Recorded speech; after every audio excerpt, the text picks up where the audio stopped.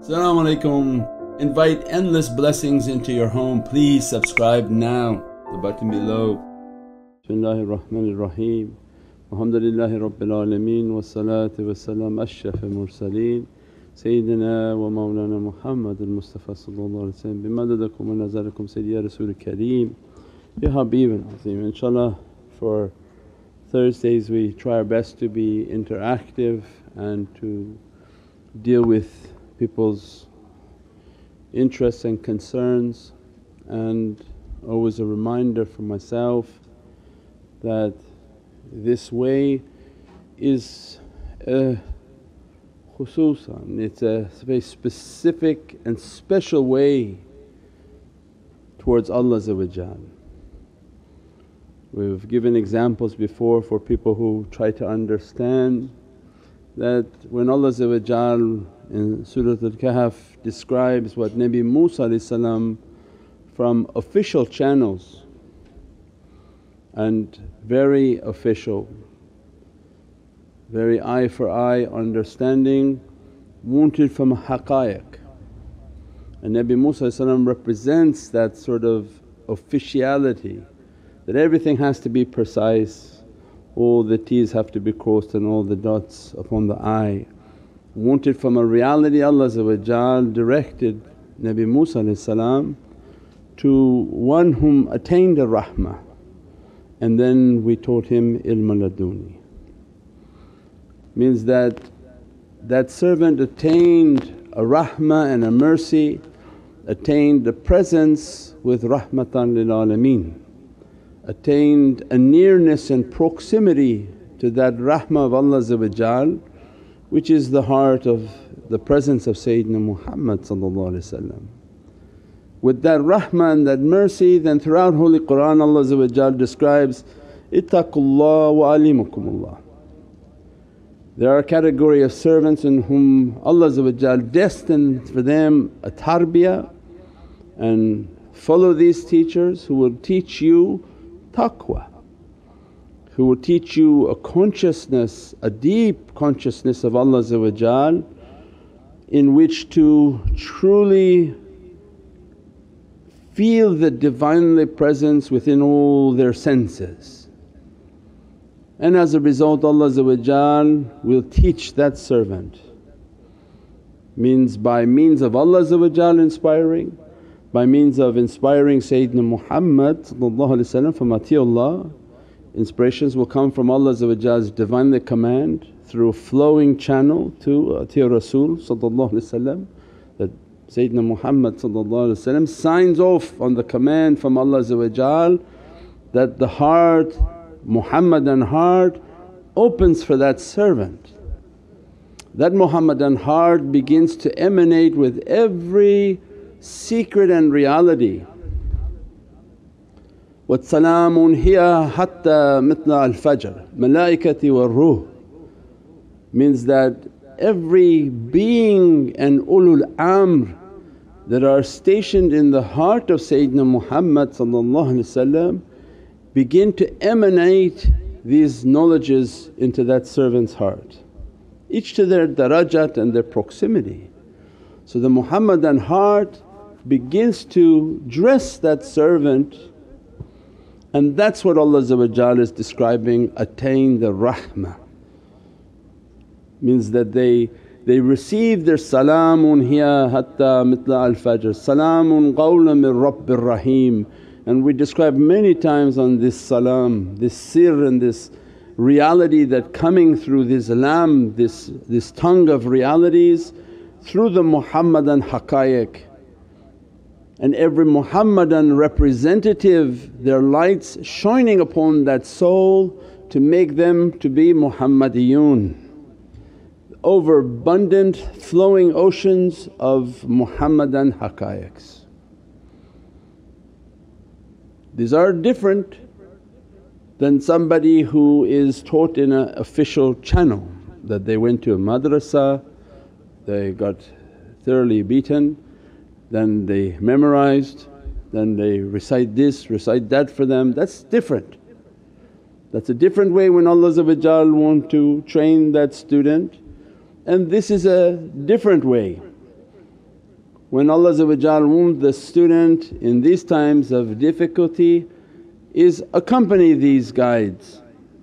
They dress you, bless you and uplift you.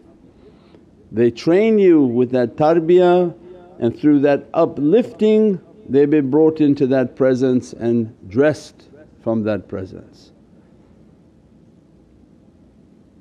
Their knowledge is not the knowledge in which to give the quotes of fiqh, which hadith precisely, what are the footnotes of that hadith. That's a zahiri external knowledge. This is a internal reality where they can teach you given permission by Sayyidina Muhammad the reality of the hadith. So when people don't know how to operate and deal with them, they say, well we'll ask you questions and you answer them and we want to know is a bird allowed in a cage? That's not the way to deal with these servants.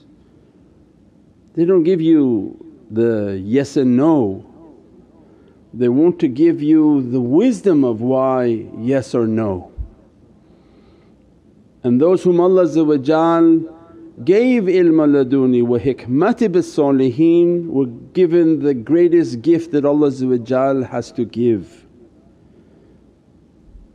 So if anyone thinks they got a gift from Allah then the greatest gift that Allah is in Holy Qur'an is those whom we given this type of knowledge and the hikmah and wisdom in which to use it they have been given the greatest divine gift and they inherit from lisan as-siddiq al-aliyah the most high and truthful tongue because truthfulness is through character.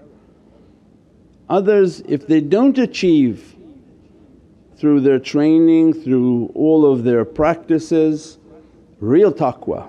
If you're not Ahlul Basira and your heart is not open do you really think you have a taqwa? How can you fear that which you don't see? You don't really fear it because you don't see it, you don't feel it, you don't definitely taste it. So it's imitated fear and that's why they can do anything because they already feel they're behind 25 feet of steel. Real taqwa is when Allah opens for the servant that they see with their heart. And when they see everything they feel becomes a thousand times more real. You can feel an energy in a room but from these servants again to their darajat, uh, what, what shaykh has been lifted in what presence, they see. If you see and you feel you're taking now from the oceans of haqqaiq because you, you hear it with the sense, you seeing it with the sense, you, you feeling it and tasting it, it's a real and a reality for you. These are different types of servants. And Allah has many categories in Holy Qur'an. Who are the people of the Bab? Because these people come back and say, no, no we're all the same, there's, no, there's nothing hidden. Mm, that's unfortunate that you would think like that because if it didn't open for you, you feel that it's open for no one. But there are category of ulama qayyimal bil qist who are the people, these learned people, who are the people of the bab, who are the ahlul tafakkur, the people that none know except those whom contemplate. Throughout Allah is hinting to us, no, no there are categories, these are rijal, they are the ibadullah. All of these categories, what reality Allah has dressed within them and blessed within them. So there are differences. How to deal with the categories and the people of wisdom is to seek the wisdom and the reality of what they teach. You don't ask them that, how do you perform Hajj? Google it but ask them, what's the secret of seven tawaf? You don't ask them how to make wudu, Anybody can Google it based on your madhab. But ask them the secret of wudu and the haqqaiq of that wudu that dresses the soul eternity eternally.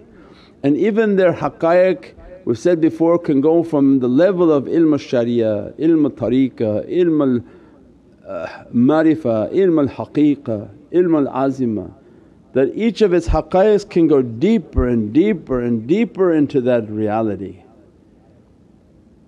We pray that Allah give us an understanding on how to sit at that well, how to drink from the reality of that wisdom and it requires an adab. And that's why we say internet adab is one thing, when people click and like everything, the, that's okay but by giving people access to the shaykh, by emailing and communicating they're drawing you close. No matter how high you think your maqam and who you think speaks to you by inspiration, what Allah gave to the example of Sayyidina Yusuf says, even if your father is a prophet Allah wants to throw you into the well. He doesn't care of your lineage doesn't care if your father is an active Prophet of Allah When He wants the servant to achieve a reality, He distances the servant and will send somebody to teach that servant. And that teaching will be first on eh, basing, putting the person into a well and bring them down. Through that system of crushing we read Surat al-Yusuf where Allah says, its most beautiful qissa, most beautiful story. So that to bring the servant down, disattach from everything they think they are, whatever they think they achieved or received, they have to be reformatted. That reformatting and then be rebooted to bring back to the correct understanding and towards that relationship. And then the story of Sayyidina Yusuf until he waited, then the one whom is for him appeared. Somebody asked, how do you know who your shaykh is? And it's an important example. If we're going to build a choo-choo train, if we want to build a train because Allah is the most beatific of fashioners and the best of designers. If you want to build the train from here to New York, you build the train first or you put the track?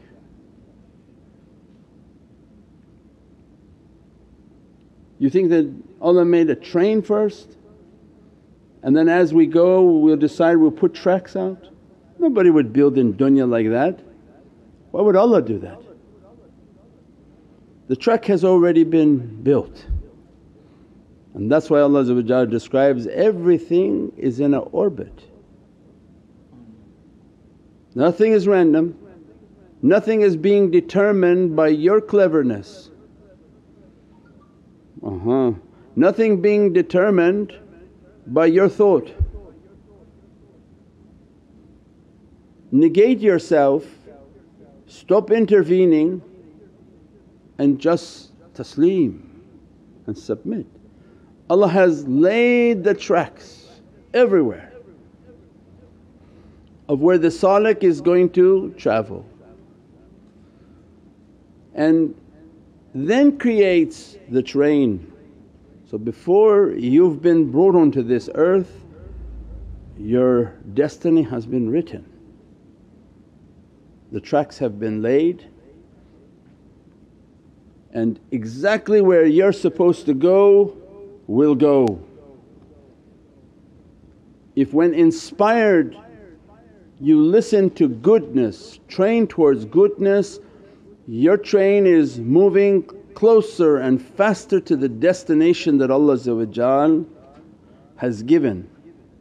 And along this magnificent path there are many diversions but in the end they all end up back. When Allah has destined for you to reach your reality, you're destined for example to reach New York and you're in Los Angeles you can never deviate from Allah's plan.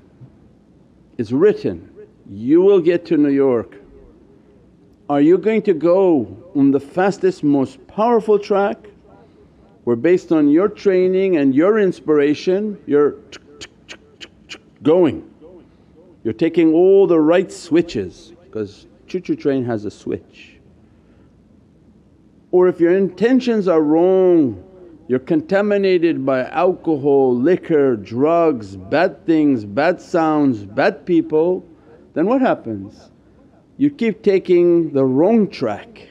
You turn left, you made another left in life, you made another left in life. Your train is now going through the mountains where everything begin to hit you, begin to collapse upon you, in many cases even take you off the track and many people had difficulties in life that crushed them until they got the choo-choo train back. And then they were inspired, I shouldn't have had a made a left there and I begin to make right and the right decisions. And that's what we talked about before but it's important for the analogy because people get worried, how am I going to do, how am I going to do this, how am I going to do that? Is everything going to be okay? Is my family going to be okay? My choice going to be okay? My money going to be okay? It's been written. Don't think that your cleverness got you this far. Not a series of wise choices but your cleverness is what got you into every trouble. When you thought you would be so clever and you would put your two cents into it and then you chose wrong.